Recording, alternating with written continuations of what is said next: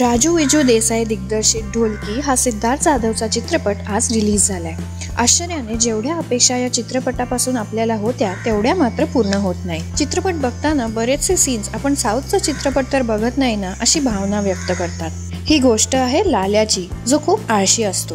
त्याला एक ढोलकी सापडते आणि त्याच्या आयुष्यात बदल घडू लागतात. एका तमाशाच्या गोंधळात तो सापडतो ज्याची पुढारी आहे मानसी नाईक. त्यांच्या प्रेमाचा खेळ पुढे सुरू होतो. पण चित्रपटात बरेचसे ट्विस्ट आहेत आणि सिद्धार्थच्या कॉमिक टायमिंगबद्दल तर सांगायलाच नको. सिद्धार्थचा अभिनय खूपच छान आहे आणि त्याच्या खांद्यावरच जणू हा चित्रपट आहे. सयाजी शिंदेच्या नेगेटिव्ह रोलची पण दाद दिली पाहिजे. एका नव्या प्रकाराची लावणी पण आपल्याला ह्या चित्रपटातून ऐकायला मिळेल. तर विकेंडच्या मनोरंजनासाठी एकदा तरी ढोलकी बघायला काहीच हरकत नाही. मराठी सिनेसृष्टीच्या ताज्या अपडेटसाठी आमच्या चॅनेलला सबस्क्राईब करायला विसरू नका.